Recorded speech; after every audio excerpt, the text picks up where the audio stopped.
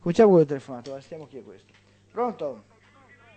Dimmi. Sono Giuseppe di Mestre! Dimmi.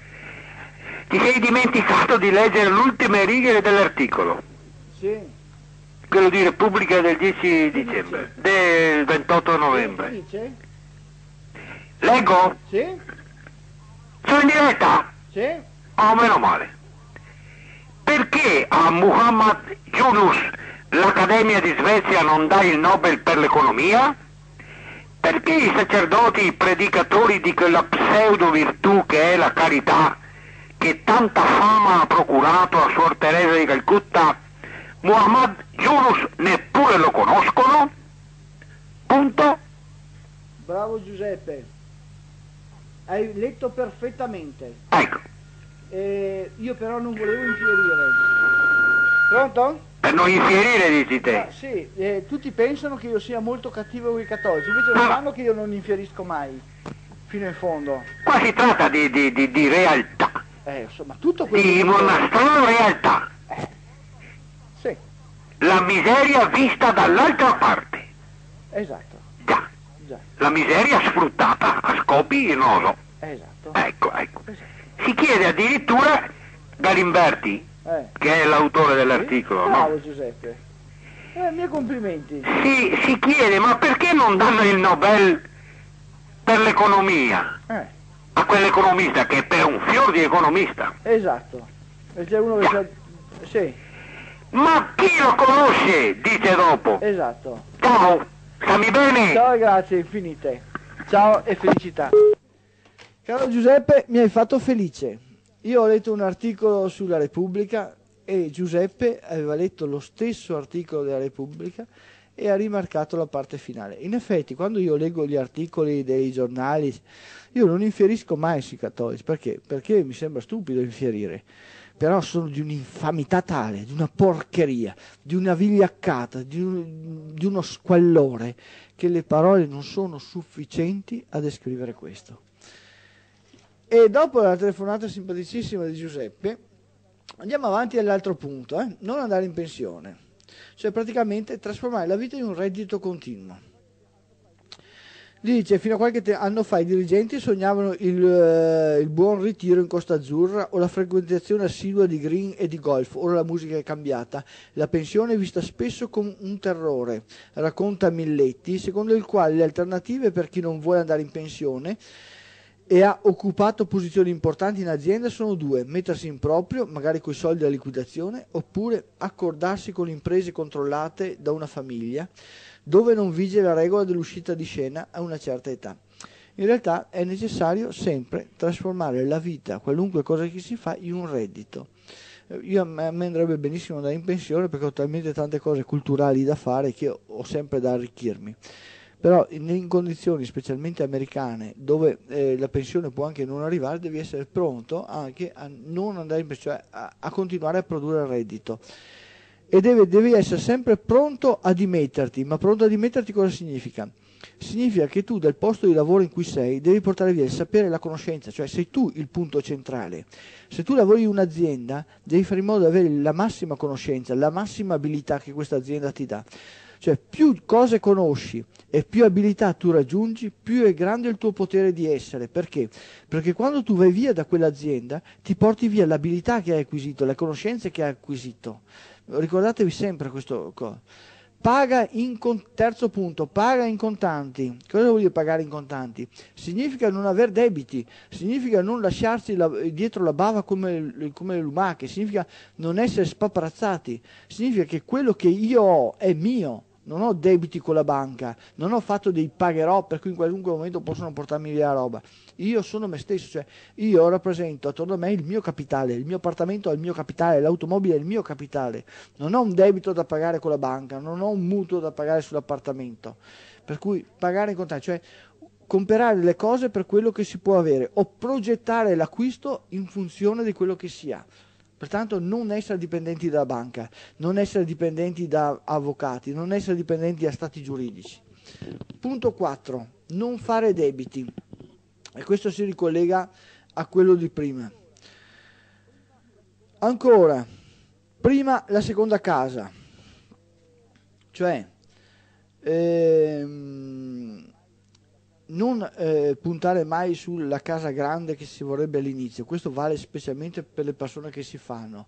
Cominciate a comprarvi la casa che ora siete in grado di comprarvi e dopo ve la comprate più grande. Cioè usate passo dopo passo, costruite un po' alla volta quello che fate non eh, avere l'obiettivo assoluto immediatamente, perché se avete l'obiettivo assoluto immediatamente, domani siete fuori l'azienda, siete senza stipendio, avete fatto un mutuo, vi sequestrano la casa, non avete più la possibilità di andare avanti. Se invece comprate la casa più piccola, anche se venite licenziati, la casa più piccola è comunque vostra e avete un punto di partenza per andare ad affrontare il mondo e trovarvi un altro lavoro. Se invece fate le cose troppo in grande, rischiate di trovarvi col culo per terra. 6.6. Non lasciare eredità perché si lascia eredità? I figli crescono, gli si dà l'abilità delle mani, gli si dà il sapere, gli si dà la conoscenza, gli si dà la possibilità di costruirsi. Però tutto quello che noi abbiamo costruito nella vita ci appartiene. Se vogliamo facilitare i figli, benissimo, ma ricordate che i padroni di noi stessi siamo noi. Ai figli dobbiamo aiutarli a costruire il loro futuro, ma il futuro loro appartiene a loro, non a noi. Per cui separare, se non esiste la famiglia dei ruoli, esiste la famiglia degli individui, gli individui che stanno insieme. Se io ho un figlio, devo fare in modo che mio figlio sia più autonomo possibile, sia in grado di prendersi in mano la propria vita, sia in grado di costruirsi la vita come vuole lui, non dipendendo da me. Che dopo io lo aiuti, che dopo io faccia, che dopo gli lasci un altro discorso, ma non avere un imperativo di lasciargli un'eredità a tutti i costi. Cioè l'eredità gliela lascio nelle mani, gliela lascio nella testa, gliela lascio nel, nel sapere, nella conoscenza, non in cose. Fa beneficenza il punto 7 sarebbe fare beneficenza, in realtà non è la beneficenza in se stessa, dà una mano affinché gli altri stiano bene, cioè più gente attorno hai che sta bene e meglio stai anche tu. Pertanto datti da fare affinché quelli che ti stanno attorno stiano il meglio possibile perché se loro stanno bene puoi star meglio anche tu. Se voi eh, vi comprate un, quart- un, appartamento lussuoso in un quartiere di poveracci o in un quartiere di zingari, sicuramente vi rompono la porta e vi sfondano. Però se quei poveracci dove voi comprate il quartiere, eh, il quartiere lussuoso stanno meglio, non hanno bisogno di eh, rompervi la porta, allora starete meglio anche voi. Pronto ancora?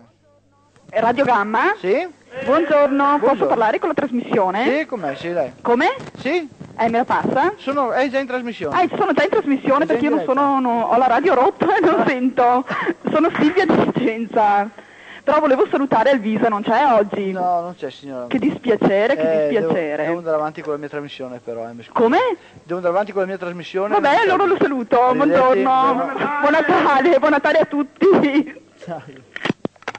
Vabbè. Andiamo avanti ancora. Investite nei fondi.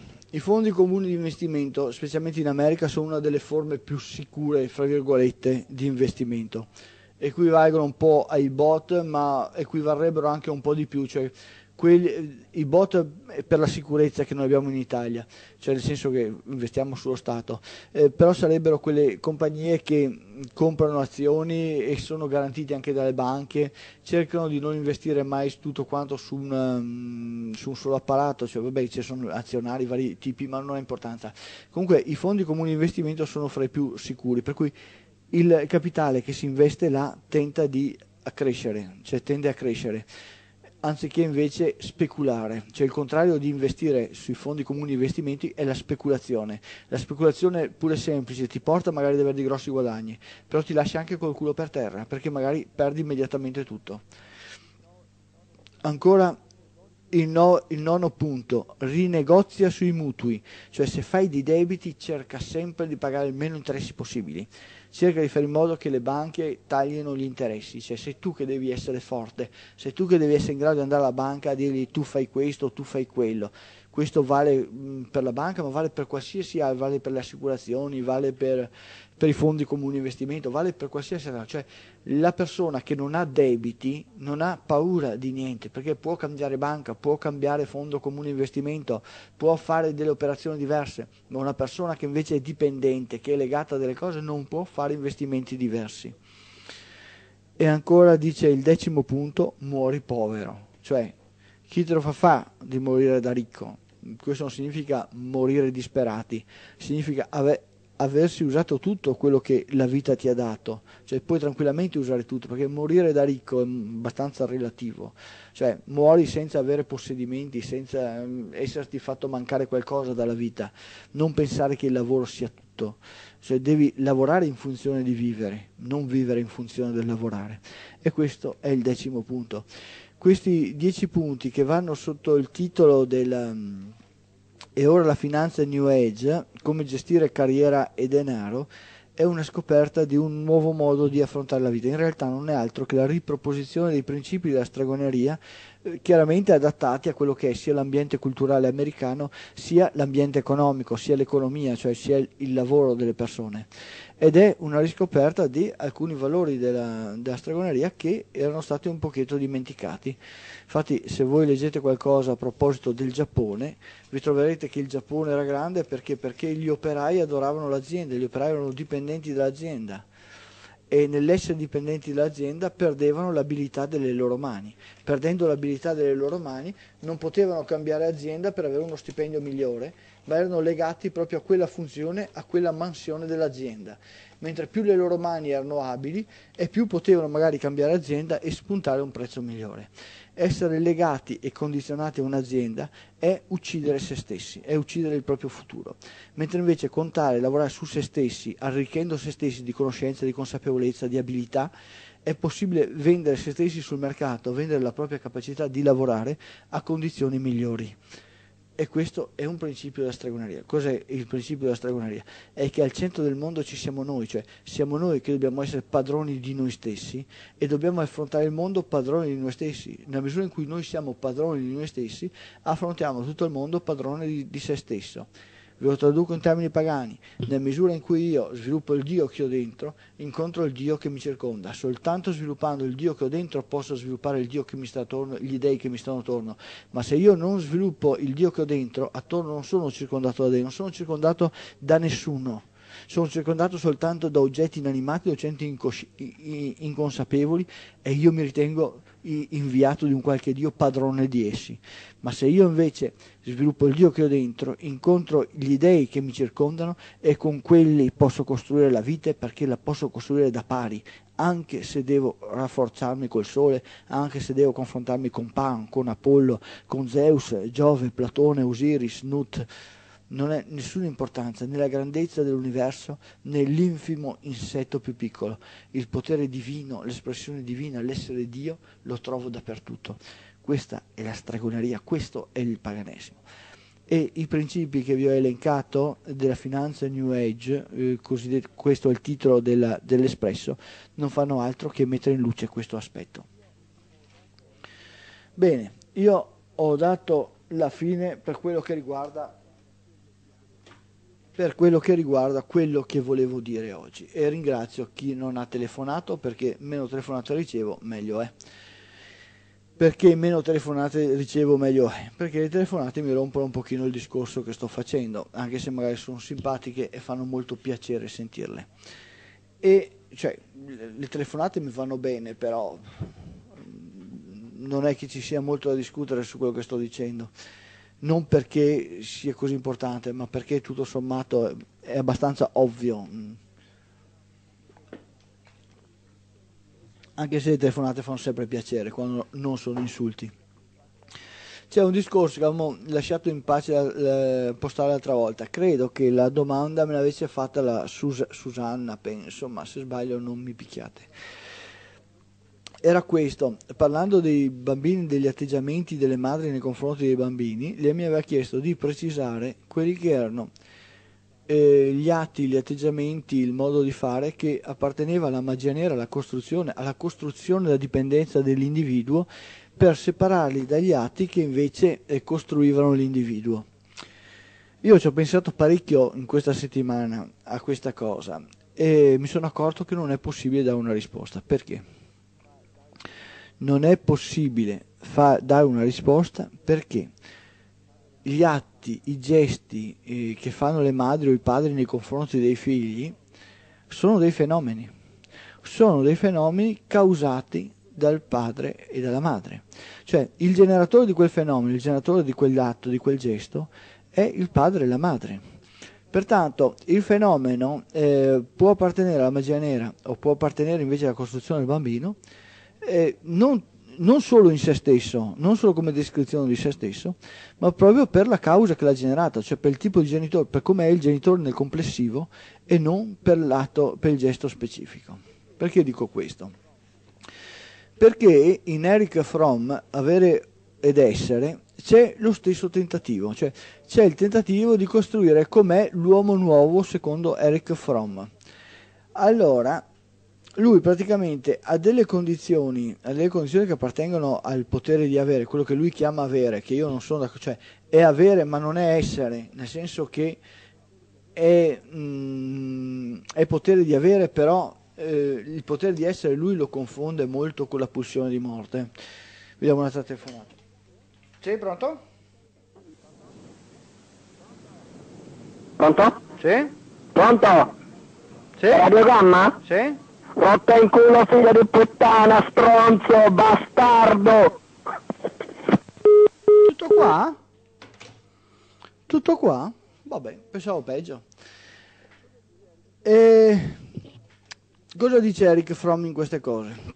Dice sicurezza, sentimento di identità e fiducia fondate sulla fede in ciò che si è, nel proprio bisogno di rapporti, interessi, amore, solidarietà col mondo circostante, anziché sul proprio desiderio di avere, di possedere, di controllare il mondo, diventando così schiavo dei propri possessi. Cioè, l'una e l'altra cosa eh, sono apparentemente in contrapposizione, ma è l'espressione dell'individuo, cioè il fenomeno che l'individuo produce che non può essere contraddetto. Cioè, se sono state costruite delle fobie sessuali da parte dei bambini, non è che con la galera o con le costrizioni o con l'elencazione possiamo evitare che i bambini abbiano le fobie sessuali. La costruzione delle fobie sessuali, per uscire fuori da queste, è necessario un lungo processo di superamento e quando ci si riesce, poi magari si riproduce riproducendo la fobia stessa, riproducendo la coercizione. Per cui io non posso dire questa cosa è positiva o quella cosa è negativa, perché le cose sono prodotte dal soggetto, cioè è il soggetto che deve essere positivo o negativo, è il padre e la madre che devono costruire se stessi o, o, stanno negando loro stessi. Per cui io non posso dire questo è l'atteggiamento positivo e questo è negativo, anche perché se io facessi una, una cosa del genere, dovrei partire dal presupposto che il padre e la madre sono creati all'immagine e somiglianza di Dio, per cui vado da lui a dirgli tanto tu non puoi essere diverso da così, ma, può, ma puoi avere un atteggiamento diverso. Invece non è così.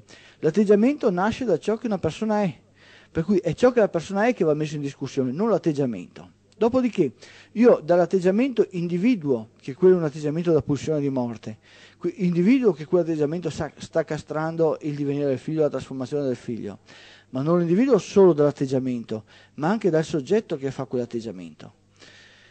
Per cui elencare gli atteggiamenti diventa una pura e semplice elencazione che si può fare, mm, però nello stesso tempo si rischia anche di dare delle regole eh, di comportamento che in realtà vanno a mascherare ciò che è un, un padre, ciò che è una madre e non permette di venire fuori esattamente ciò che è, esattamente il suo fare, il suo desiderio, il suo modo di essere. Per cui è il, il padre e la madre che devono cambiare, cioè sono i genitori che devono comprendere che il bambino non è un oggetto di possesso, ma è un individuo adulto che si sta costruendo. Se non riescono a comprendere questo, non riescono nemmeno eh, cioè, questo non lo comprendono proprio perché loro stessi non si stanno più costruendo, loro stessi ormai hanno finito di, di costruirsi, loro stessi si pensano creati l'immagine e somiglianza di un dio pazzo. Allora, questo momento, in questo stesso momento, facendo questo, loro distruggono il divenire del figlio perché quel divenire è distrutto in loro. Dopodiché nei singoli atteggiamenti, nei singoli gesti, nei singoli, nei singoli atti eh, si può individuare qual è l'atteggiamento a pulsione di morte. Io mi ricordo di essere passato al supermercato Panorama, credo di Mestre, vicino a una madre che stava, che stava trattando male un bambino di un anno e mezzo, due anni, e, e gli ho detto bene, scalda i ferri e torturalo e l'ho detto con una tale veemenza che il bambino si è messo ancora a piangere, mentre io stavo prendendo in giro sua madre e i suoi atteggiamenti, che erano atteggiamenti veramente folli. Però eh, non è che puoi cambiare quelli che sono i suoi atteggiamenti, perché i suoi atteggiamenti, il suo modo di essere, è espressione di ciò che ella è, del suo divenuto, delle sue trasformazioni. E questo non si può elencare, questo non si può definire. Pertanto noi possiamo descrivere che questa cosa è più giusta di un'altra cosa, ma noi dovremmo descrivere essenzialmente la fonte eh, che genera quella cosa, perché è la fonte che genera quella cosa che ci permette di sapere la direzione in cui quella cosa sta andando. E questo è importantissimo. Pertanto, eh, dico a Susanna, io difficilmente potrò dirti quali sono atteggiamenti o meno. Eh, mi sentirai ogni tanto dire questo atteggiamento non va bene, quest'altro fa schifo, quest'altro lo prenderei a, a pedate sui denti. Sicuramente mi sentirai dire questo. Mm, però sarà sempre riferito a delle cose percepite, delle cose che ho vissuto, delle cose che ho afferrato, dove ciò che afferro non è semplicemente lato, ma è una specie di insieme dalle quali estraggo e estrapolo alcune cose. Pertanto io continuerò sempre, se mi senti qua e là, mi sentirei sempre a dire delle cose, delle cose simili, però io cerco sempre di generalizzare il più possibile affinché le persone possano fare proprie le cose e ritrasmettere le cose che fanno proprie. E questo per me è la cosa più importante, perché altrimenti mi troverei a dare delle verità, a descrivere delle cose alle quali chiederei alle persone di adeguarsi. E io questo, eh, scusate, ma mm, anche se spesso lo faccio, perché spesso lo faccio, non è questo il mio compito. Eh, il mio compito è quello di essere il più astratto possibile affinché le persone lo traducano nella propria soggettività le cose perché se io comincio eh, ad elencare cose pratiche, cose spe- troppo specifiche, rischio di strappare la soggettività alle persone, la capacità delle persone di tradurre le cose in se stesse e da se stesse e per se stesse. Dopodiché so benissimo eh, che quello che faccio io è un'infinita goccia in un oceano, però eh, devo farlo in questo modo perché questa è l'importanza della cosa. Se io facessi un, man- manuale di comportamento, chiunque potrebbe ehm, costruire un'apparenza sul manuale di comportamento e farsi passare per persona diversa. Allora non è eh, positiva quella persona che cerca di costruire la vita, ma diventa quella posit- eh, positiva quella persona che ha quell'atteggiamento in quella situazione, l'altro atteggiamento nell'altra situazione, l'altro atteggiamento ancora in un'altra situazione ancora e in pratica ucciderei la positività proprio perché la positività si adeguerebbe a quei comportamenti che io do e io questo non lo posso fare. Questo sarebbe contrario al paganesimo. Nonostante questo, che so benissimo che è contrario al paganesimo, sono costretto spesso a ricorrere a questo per definire alcuni comportamenti, per definire una morale, per definire un'etica, per definire un insieme di cose. Bene, io spero di essere stato chiaro anche con l'amica Susanna, eh, quando lei mi ascolterà, vabbè, eh, magari, mm, magari quel giorno mi dirà ma tu mi hai detto questo, mi hai detto quello, come tutti quanti, però ricordatevi bene, quello che io dico è relativo e poco importante. È importante quello che dico nel momento in cui lo dico e riferito agli elementi per cui lo dico dire, eh, prendere quello che dico io ed estrarlo dal momento in cui lo dico, dalla situazione in cui vado dicendolo, eh, si dà un significato completamente diverso a quello che dico. E questo è parte fondamentale del paganesimo. Io vi ringrazio di avermi ascoltato. Vi ricordo che io sono Claudio Simeoni, vi do il mio indirizzo, Piazzale Parmesan 8 Marghera, anche per l'amico che ha insultato anzi lo ringrazio anche dei suoi insulti perché ha chiarito esattamente qual è il suo pensiero. E vi do appuntamento per le ore 19 con la seconda parte della trasmissione Magia, Stregoneria e Paganesimo dove continueremo ancora con il Gesù di Nazareth e l'infamia umana troveremo un altro capitolo ancora da andare avanti e andremo avanti con la rassegna stampa. Grazie ancora per avermi ascoltato e a risentirci alle ore 19 adesso vi troverete con Carmelo che farà la sua trasmissione al posto di Mario. Ciao e a risentirci